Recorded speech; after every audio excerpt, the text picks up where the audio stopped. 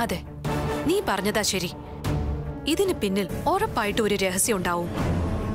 മരുന്നിന്റെ കാര്യം പറയാൻ വന്ന വൈദ്യർ കുട്ടികളുടെ കാര്യം സ്വാതിയുമായി സംസാരിക്കണമെങ്കിൽ അതിലൊരു വലിയ രഹസ്യം ഉണ്ടായിരിക്കും.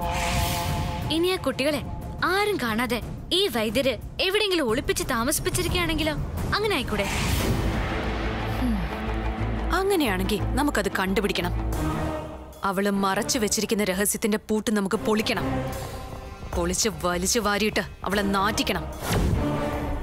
അവൾ സഞ്ചരിക്കുന്ന വഴിയെ ഇനി നമുക്കും ഒന്ന് സഞ്ചരിക്കാം. രഹസ്യങ്ങളുടെ താക്കോൽ നമ്മുടെ കയ്യിൽ കിട്ടുക തന്നെ ചെയ്യും.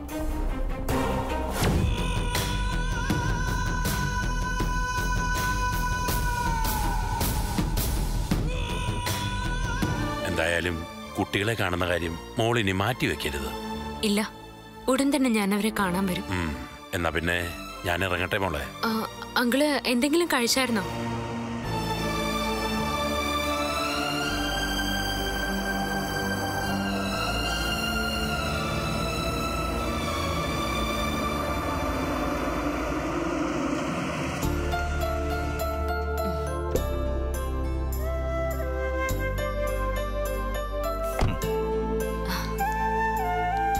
ആഹാ. മോക്കിപ്പോ ഒരു കുഴപ്പമില്ലല്ലോ.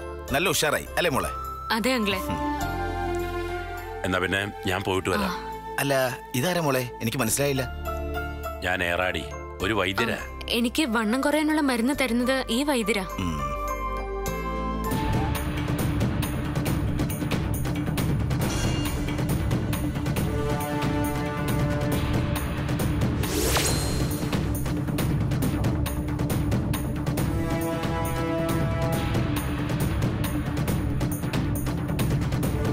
വൈദ്യര്?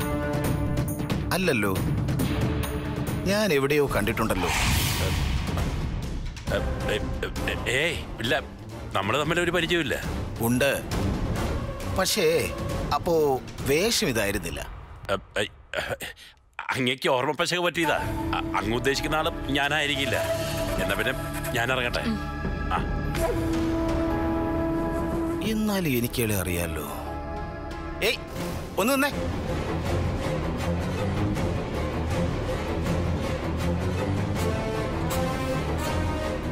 നിങ്ങൾ രാമാനുജനല്ലേ? എനിക്കിപ്പോഴാണ് ഓർമ്മ വന്നത്. ഒരുപാട് കാലമായി നമ്മൾ തമ്മിൽ കണ്ടിട്ട്. ക്ഷമിക്കണം. ഞാൻ അങ്ങ് ഉദ്ദേശിക്കുന്ന ആളല്ല. ഞാനൊരു പാവം വൈദ്യരാ. ഇതാരൊക്കെയാ? വൈദ്യരെ പറ്റി. ഇപ്പൊ എത്തിയതേ ഉള്ളൂ. മടങ്ങാൻ ധൃതിയുള്ളതുകൊണ്ട് ഇറങ്ങാൻ തുടങ്ങുകയായിരുന്നു. അപ്പോഴാ ഇദ്ദേഹം വിളിച്ചത്. അല്ല ഏട്ടാ എനിക്ക് ഇദ്ദേഹത്തെ അറിയാം. ഇദ്ദേഹം വൈദ്യരല്ല. ഞാൻ കാണുമ്പോൾ ഇദ്ദേഹത്തിന് ഈ കാവ് വേഷവുമില്ല.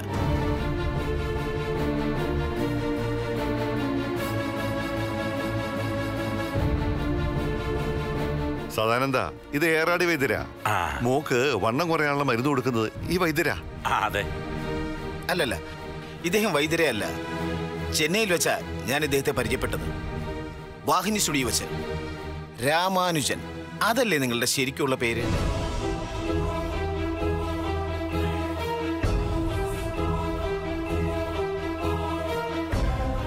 ഇത് രാമാനുജൻ തന്നെ. അന്ന് വാഹിനി സ്റ്റുഡിയോയുടെ മാനേജറായിരുന്നു ഈ രാമാനുജൻ.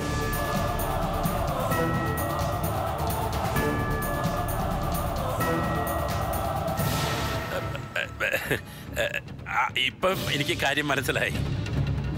അങ്ങ് മുമ്പ് എവിടെയോ വെച്ച് രാമാനുജനെ കണ്ടെന്നും പരിചയപ്പെട്ടു എന്ന് പറഞ്ഞതും നേരായിരിക്കും.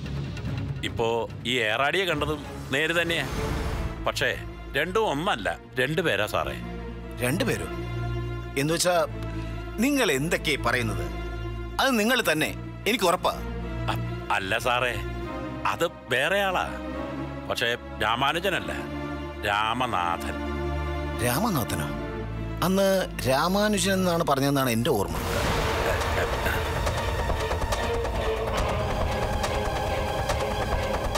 നിങ്ങൾ ഈ പറയുന്നതൊന്നും എനിക്ക് മനസ്സിലാവുന്നില്ല. കുറച്ചാൾ മുമ്പേ ഈ ഏറാടി വൈദ്യരല്ല എന്ന് പറഞ്ഞ് എനിക്കൊരു ഫോൺ കോൾ വന്നിരുന്നു. പക്ഷേ പിന്നീട് തെറ്റാന്ന് എനിക്ക് മനസ്സിലായി. ആർക്കും തെറ്റുപറ്റും സാറേ. അത്രയ്ക്ക് രൂപസാദൃശ്യമുള്ളവരായിരുന്നു ഞാനും രാമനാഥനും. അതാരാ ഈ രാമനാഥൻ?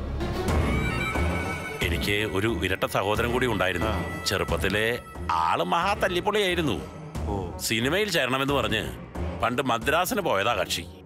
പക്ഷേ ഒന്നും ആയില്ല. ഇടയ്ക്ക് അവിടെ ഏതൊരു സ്റ്റുഡിയോയിൽ മാനേജരാണെന്ന് ഞാൻ കേട്ടിരുന്നു. ആൾക്ക് നാടുമായിട്ട് വലിയ ബന്ധമൊന്നുമില്ലായിരുന്നു. വല്ലപ്പോഴൊന്നും വരും. അത്ര തന്നെ. മദ്രാസിൽ വെച്ച് സാറ് പരിചയപ്പെട്ടതും സംസാരിച്ചതും രാമനാഥനോടായിരിക്കും. ഇതൊരു വല്ലാത്ത അത്ഭുതം തന്നെയല്ലോ.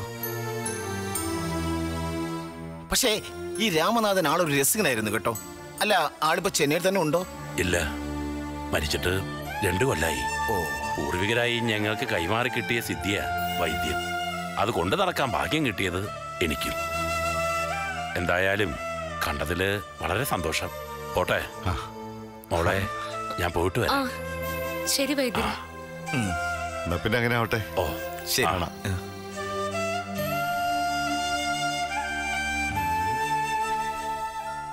വാസാനിത അകത്തിരിക്കാം. വാ.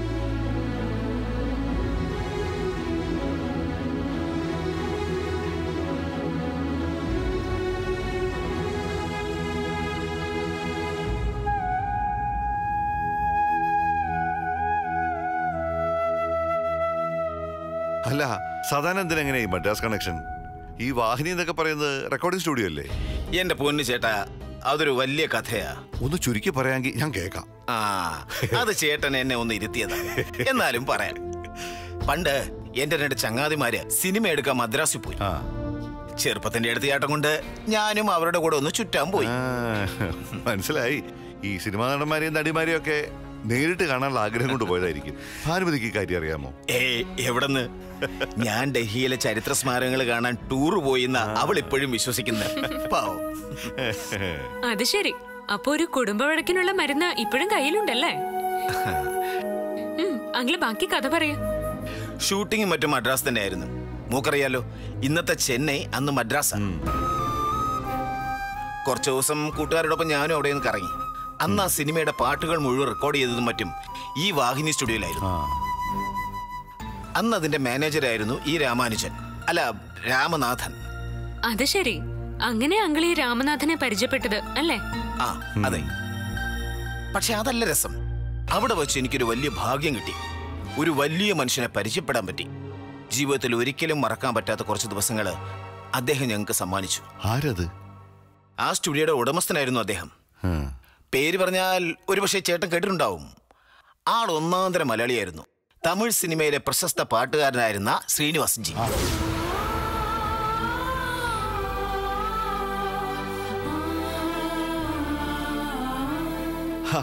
ശ്രീനിവാസ് ജി അറിയാത്ത ആരെങ്കിലും ഉണ്ടോ?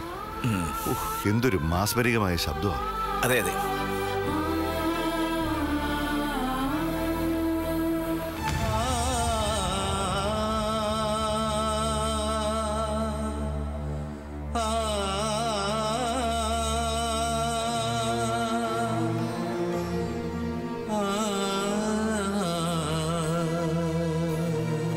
അദ്ദേഹം പാടിയ പാട്ടുകളിൽ പലതും എനിക്കിന്നും കാണാപ്പാടമാണ് ശ്രീനിവാസ് ജിയുടെ പാട്ടുകളോട് എനിക്കിന്നും ആരാധനയാണ് എന്തൊരു നല്ല മനുഷ്യനായിരുന്നു. പാട്ടും ചിരിയും കളിയുമായി ചെലവഴിച്ച ആ രാത്രികൾ എന്റെ ജീവിതത്തിൽ എന്നും ഞാൻ ഓർക്കും. ആ. പടത്തിലെ എല്ലാ പാട്ടുകളും പാടിയത് ശ്രീനിവാസ് ജിയായിരുന്നു എത്രയോ ഗംഭീരമായിട്ടുള്ള പാട്ടുകൾ അദ്ദേഹം പാടിയിട്ടുണ്ട്.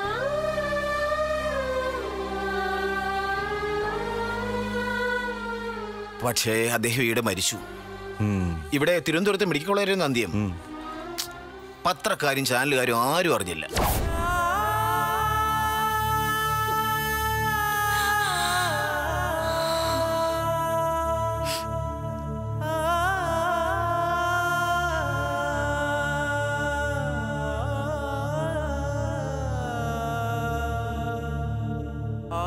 ഒരിക്കൽ പ്രശസ്തിയുടെ കൊടുമുടിയിൽ നിന്ന പാട്ടുകാരൻ അന്ത്യം ദയനീയമായിരുന്നു.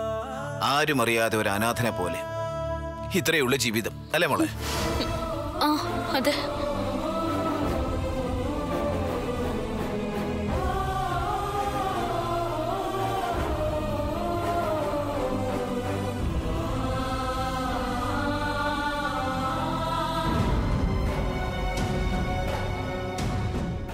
ആ ചേട്ടാ ഞാൻ വന്നതേ ഒരു പ്രധാനപ്പെട്ട കാര്യം പറയാനാ. എന്താ സാർ എന്താ?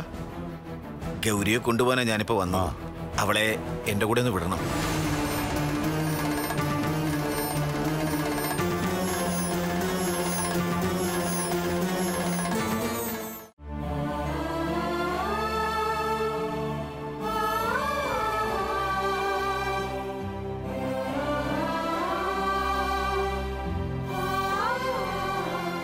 ഹാ, ശ്രീനിവാസ് ജി അറിയാത്ത ആരെങ്കിലും ഉണ്ടോ? എന്തൊരു മാസ്മരികമായ ശബ്ദമാണ് അതെ അതെ. പക്ഷേ അദ്ദേഹം ഈയിടെ മരിച്ചു. ഇവിടെ തിരുവനന്തപുരത്ത് മെഡിക്കൽ കോളേജിൽ അന്ത്യം. പത്രക്കാരും ചാനലുകാരും ആരും അറിഞ്ഞില്ല.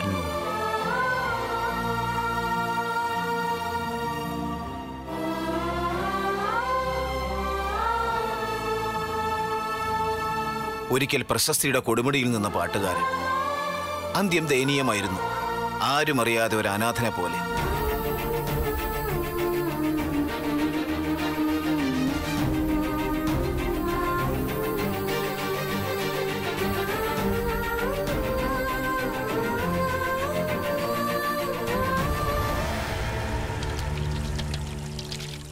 ഗൗരിച്ചി? ഗൗരിച്ചി പണി പാളി. എന്തുവാടി?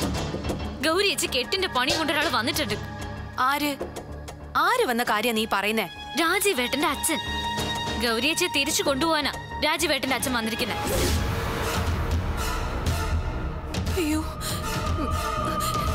നി- നിന്നോട് ആരാ പറഞ്ഞ ഇക്കാര്യം രാജീവേട്ടന്റെ അച്ഛൻ വലിച്ചനോട് പറയുന്നത് ഞാൻ കേട്ടതാ.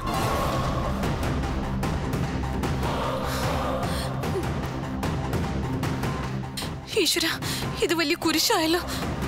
ഇനിയിപ്പൊ എന്ത് ചെയ്യും നന്ദിനി? നീ ഒരു വഴി പറഞ്ഞതാ. എനിക്ക് ആലോചിച്ചിട്ട് ഒരു പിടിയും കിട്ടുന്നില്ല. എന്തായാലും ഗൗരിച്ചയുടെ കാര്യത്തിൽ ഇന്നൊരു തീരുമാനമാവും. എന്തെങ്കിലും ഉടനെ ചെയ്തേ പറ്റൂ. എത്രയും വേഗം ആലോചിച്ചൊരു വഴി കണ്ടുപിടിക്കാം.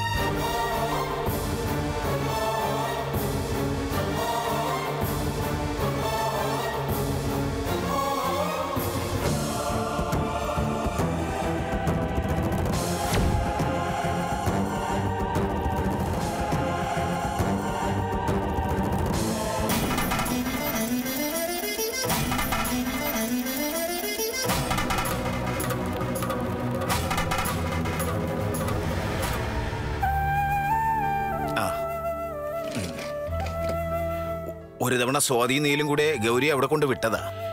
ഇനി നിങ്ങളെ ബുദ്ധിമുട്ടിക്കണ്ടെന്ന് കരുതിയാ ഞാൻ തന്നെ വന്നത്. സ്വാതിക്ക് അപകടം പറ്റിയോണ്ടാ ഭാനുമതി അവളെ ഇവിടെ കൊണ്ട് നിർത്തിയതെന്നാ ഞാൻ കരുതിയത്. അല്ല ഏട്ടാ? കാര്യങ്ങൾ നമ്മൾ വിചാരിക്കും പോലെ അല്ല. ഇതൊരു ഗൂഢമായ പ്ലാനിംഗ് ആണ്. ഗൗരിയുടെ കളിയിൽ ഭാനുമതി വീണുപോയതാണോ അതോ ഇനിയെല്ലാം ഭാനുമതിയുടെ തിരക്കഥയാണോ എന്നൊന്നും എനിക്കറിയില്ല. സദാനന്ദ എന്ത് പ്ലാനിംഗ് നടത്തിയാലും ഗൗരി ഇനി ജീവിക്കേണ്ടത് രാജീവിന്റെ വീട്ടിലല്ലേ? ഈ സമ്പത്തിന്റെ എല്ലാ അവകാശി അവളും കൂടിയാ. അതിന് അവൾ ഇങ്ങനെ ഒരു ഗെയിം കളിക്കുമെന്ന് എനിക്ക് തോന്നുന്നില്ല. രാജീവും ഭാനുമതിയും അവൾ ഇവിടെ നിൽക്കട്ടെ എന്ന അഭിപ്രായത്തിലാ. പക്ഷെ അത് ശരിയല്ല. എല്ലാത്തിനും ഒരു പരിഹാരം ഇപ്പൊ ഉണ്ടായേ പറ്റൂ. ആ ആ. അച്ഛൻ വന്നിട്ട് അധിക നേരമായോ? ഇല്ല മോളെ ഇപ്പൊ വന്നതേ ഉള്ളൂ. നന്ദിനി പറഞ്ഞപ്പോഴാ ഞാൻ അറിഞ്ഞേ. എന്നാ പിന്നെ ഒരു ചായ ഇട്ടുകൊണ്ട് വരാന്ന് കരുതി. മോൾ വേഗം ഒന്ന് റെഡിയാവാ നമുക്ക് ഉടനെ മടങ്ങി പോകണം അച്ഛൻ മോളെ കൊണ്ടുപോകാനാ വന്നത്. അയ്യോ അച്ഛാ അച്ഛൻ എന്നോട് ക്ഷമിക്കണം. ഞാൻ ഇക്കാര്യം അങ്ങോട്ട് വിളിച്ച് പറയാനിരിക്കായിരുന്നു സ്വാതി എങ്ങനെ ഒരു അവസ്ഥയിൽ വിട്ടിട്ട് എനിക്കങ്ങനെ പെട്ടെന്ന് വരാൻ പറ്റുമോ അതിന് സ്വാതിക്കിപ്പോ കുഴപ്പമൊന്നുമില്ല മോളെ. ജോലിയൊക്കെ ചെയ്യാറായില്ലേ? ഇവിടുത്തെ ബാക്കി കാര്യങ്ങളെല്ലാം ഞങ്ങൾ നോക്കിക്കോളാം. മോളുടെ ആവശ്യം ഇപ്പൊ അവിടെയാ. രാജുവിന്റെ വീട്ടിൽ. ഇല്ല വല്ലിച്ച. സ്വാതിക്ക് എടുപിടിന്ന് ജോലിയൊന്നും ചെയ്യാൻ പറ്റില്ല. നല്ലതുപോലെ റെസ്റ്റ് എടുക്കണം.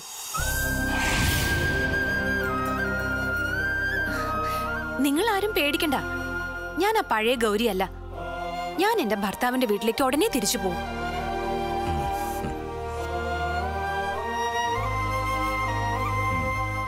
അച്ഛാ സ്വാതിക്ക് അടുത്ത ദിവസം ചെക്കപ്പ് ഉള്ളതല്ലേ? അത് കഴിയുമ്പോ ഞാനങ്ങ് തിരിച്ചു വരാം. അച്ഛനൊന്നും ഉണ്ട് പേടിക്കണ്ട. ഞാനങ്ങ് വരും. മോളെ നീ പറഞ്ഞത് സത്യമാണല്ലോ അല്ലേ? അതെ വല്ലിച്ച എന്റെ ഭർത്താവിന്റെ വീടാ ഇനി എന്റെയും വീട്. ഇനി പഴയ ഗൗരിയായിട്ട് ഞാൻ വാശി പിടിക്കില്ല. നിങ്ങൾ രണ്ടുപേരും പറയുന്ന സമയത്ത് ഞാൻ തിരിച്ചു വരും. പോരെ. ഇപ്പോഴാ എനിക്ക് സമാധാനമായി അങ്ങനെയാണെങ്കിൽ ഒരു ഒന്ന് രണ്ട് ദിവസം കൊണ്ട് അവളോട് നിൽക്കട്ടെ. ആയിക്കോട്ടെ. മോളെ പറഞ്ഞത് പഴുവാക്കാവരുത് മനസ്സിലായല്ലോ? എനിക്ക് മനസ്സിലായ അച്ഛാ. ഞാൻ ഇനി എന്നും നിങ്ങളുടെ അനുസരണയുള്ള മരുമകളായിരിക്കും. സത്യം. അച്ഛനും അമ്മയും പറയുന്ന ദിവസം ഞാൻ അങ്ങ് തിരിച്ചു വരും. എന്നാ ശരി മോളെ. ഞാൻ ഇറങ്ങട്ടെ? രണ്ടു ദിവസം കഴിഞ്ഞ് ഞാൻ തന്നെ അവളെ അവിടെ കൊണ്ടുവിടാം. ആയിക്കോട്ടെ?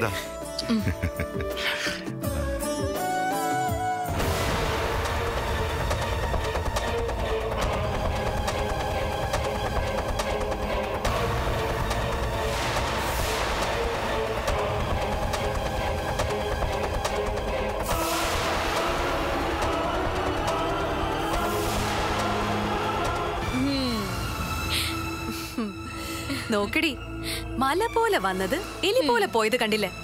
എങ്ങനെയുണ്ട് ഈ ഗൗരിയുടെ ബുദ്ധി? കാലക്കി. ഇനി നമ്മൾ വിചാരിച്ചതുപോലെ കാര്യങ്ങൾ നടക്കും.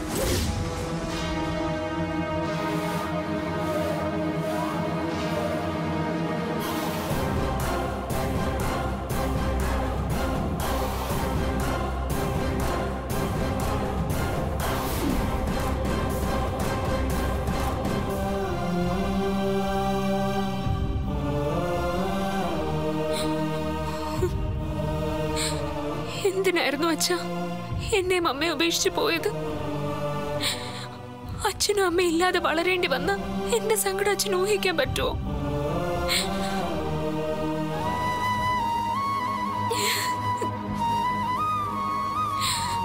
അച്ഛൻ എന്നെ ഒന്ന് കാണാൻ ആഗ്രഹിച്ചപ്പോ ഞാൻ വന്നില്ല. എന്നോട് ക്ഷമിക്കച്ച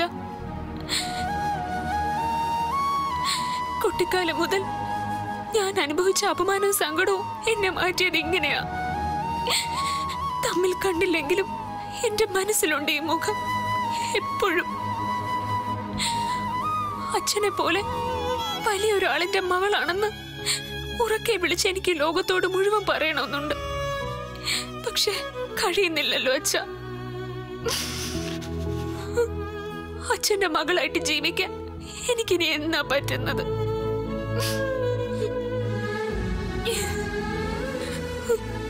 അച്ഛൻ എന്നെ ഏൽപ്പിച്ചു പോയ എന്റെ അനിയത്തിമാരെ ഞാൻ പൊന്നുപോലെ നോക്കും. അച്ഛനോടുള്ള കടം ഞാൻ അങ്ങനെ വീട്ടിക്കോളാം.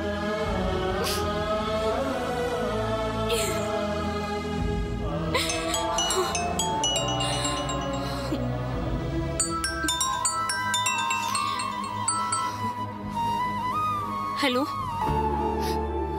ചേച്ചി ഞാൻ കാവേരിയ. എനിക്കിപ്പൊ ചേച്ചി കാണണം.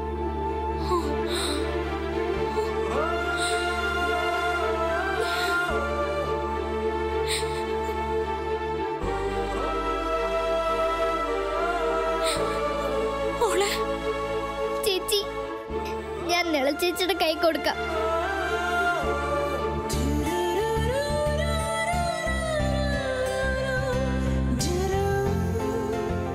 ചേച്ചി ഞാൻ നിളയാ.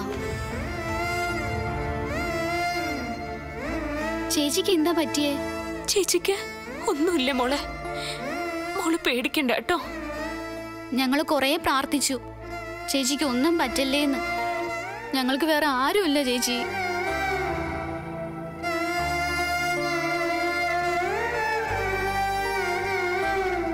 ചേച്ചിക്ക് ഒന്നും പറ്റിയില്ല. മോൾ വിഷമിക്കണ്ട കേട്ടോ. ചേച്ചി ഞങ്ങൾക്ക് ഞങ്ങൾക്ക് ചേച്ചിയെ കാണണം. അയ്യേ എന്താ ഇത് കൊച്ചുകുട്ടികളെ പോലെ? കരയുന്നോ? വിഷമിക്കണ്ട ചേച്ചി നിങ്ങളുടെ കൂടെ തന്നെയുണ്ട്. പോരെ.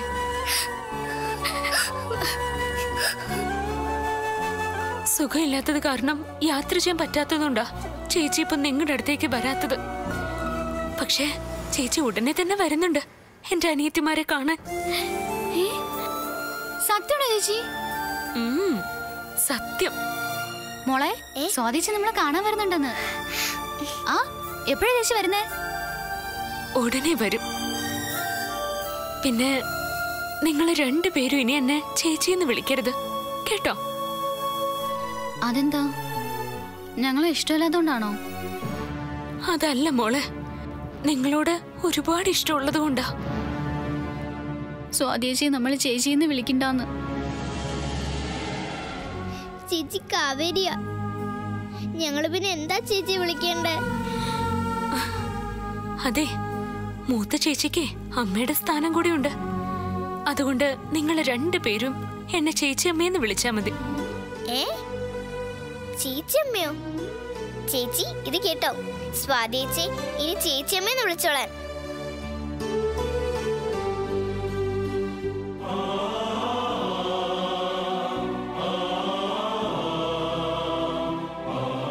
എന്താ? ഇപ്പൊ സന്തോഷായോ രണ്ടാൾക്കും? ഒത്തിരി സന്തോഷായി. എന്നാ പിന്നെ മോൾ എന്നെ ഒന്ന് ചേച്ചിയമ്മയെന്ന് വിളിച്ചേ.